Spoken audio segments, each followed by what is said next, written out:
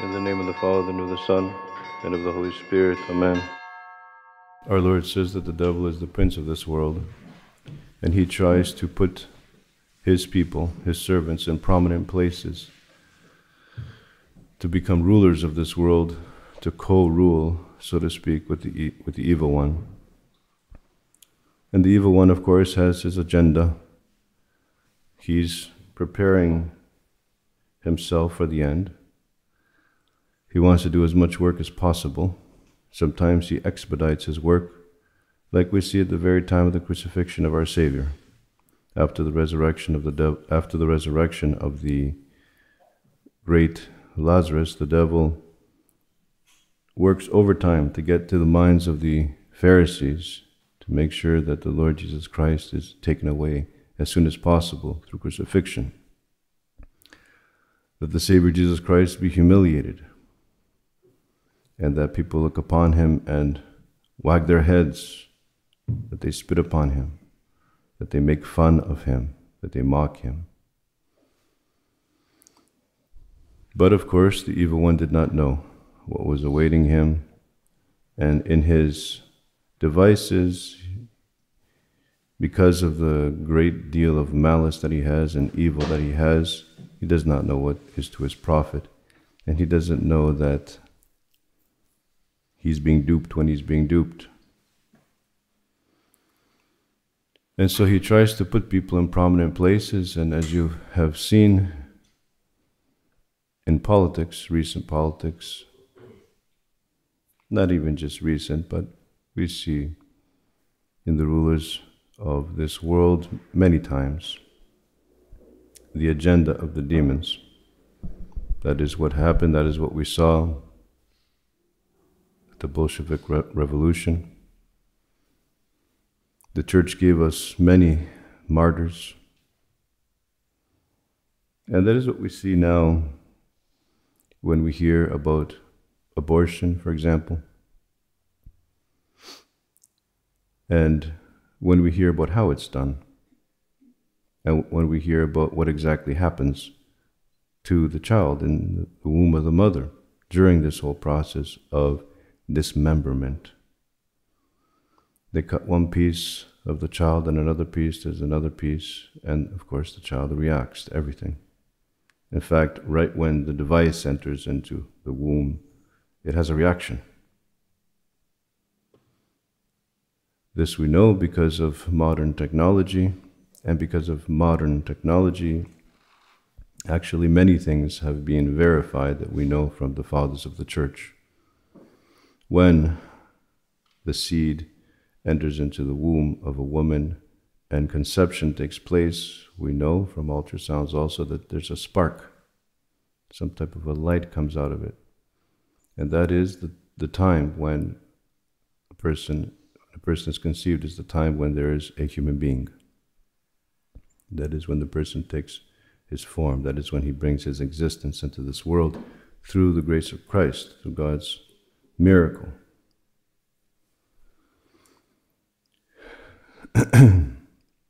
but the devil doesn't stop there. He tries to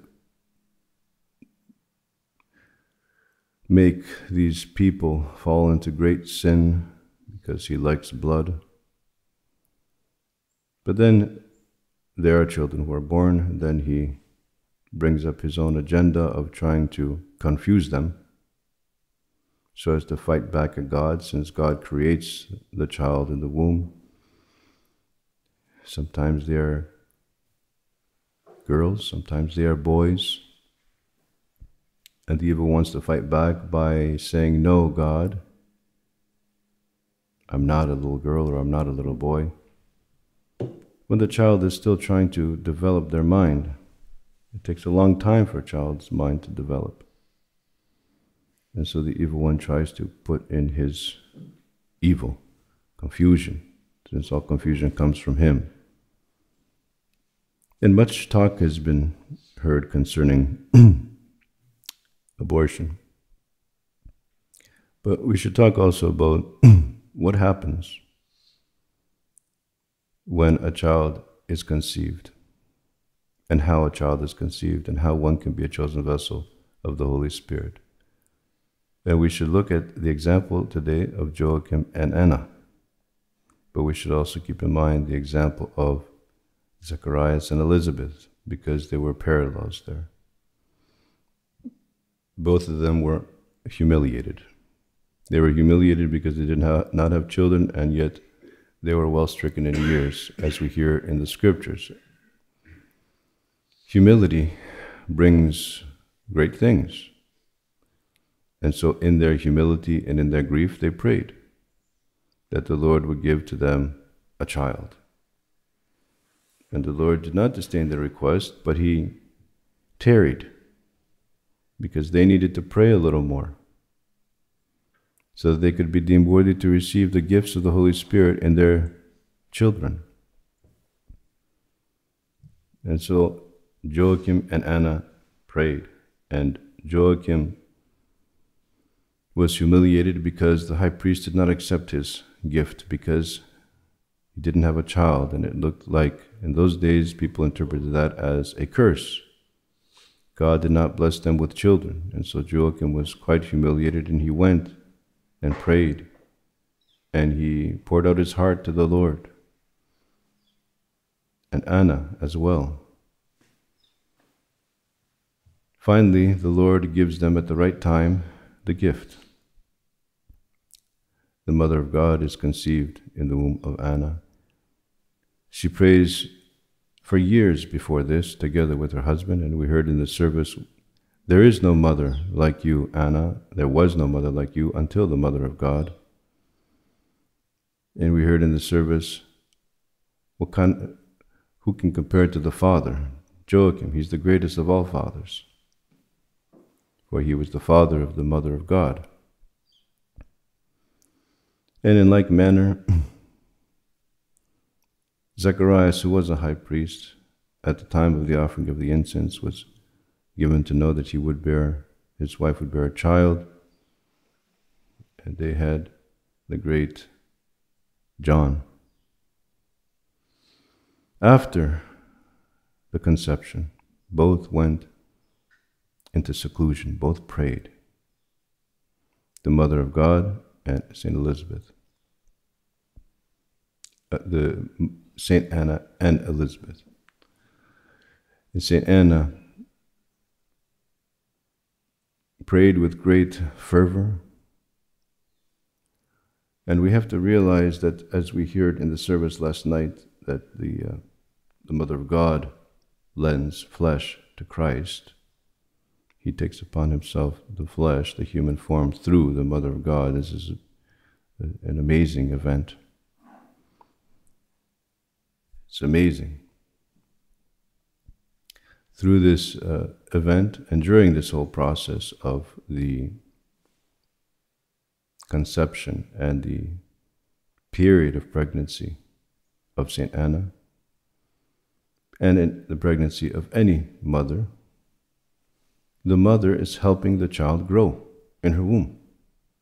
She needs to eat proper foods so that the child can develop. But not much talk is being given about the spiritual element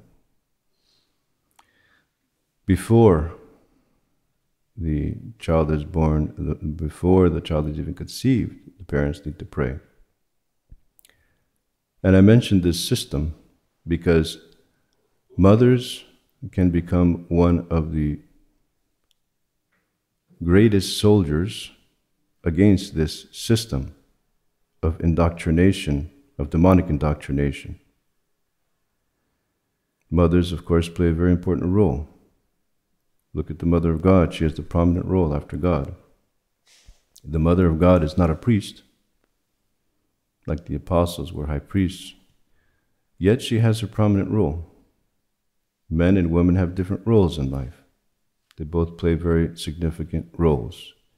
And so the mother plays an extremely significant role in raising this little child from the time of conception. We know this also from the meeting of Elizabeth with the Holy Mother of God. For when the babe St. John the Baptist, who was still in the womb of Elizabeth, heard the voice of the salutation of the Mother of God. and The babe leaped in her womb, it says in scriptures. It reacted. It's already reacting. So I think we need to come up with a good plan. Mothers have to come up with a good plan, fathers as well. Before conception, they need to say some serious prayers, knowing what we're dealing with, knowing today's society, knowing what we're faced with. Sometimes parents get discouraged. They don't want to raise children in such a society. That's not the answer either. The answer is to prepare from the very beginning, actually before the beginning, with prayer and fasting. While the mother, the mother is trying to raise the child in her womb, before she raises the child as a little child, the child can detect many things. The child participates in the sanctification of the mother. When the mother goes to confession, when the mother prays, when the mother takes Holy Communion, the child is sanctified. When the mother sins, the child is affected.